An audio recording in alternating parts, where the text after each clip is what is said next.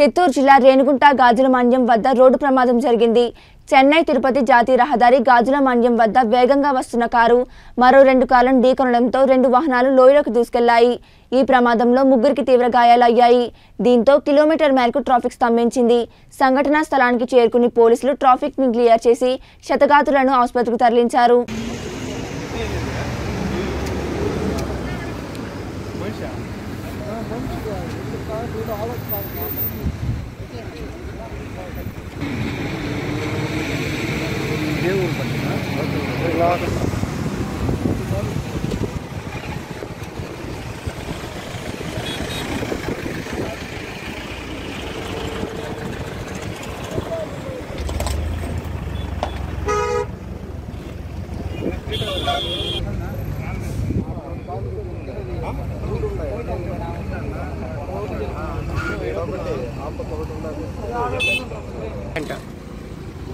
పోయేటివో?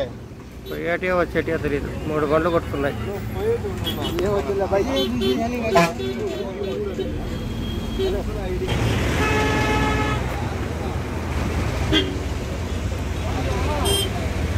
ఏ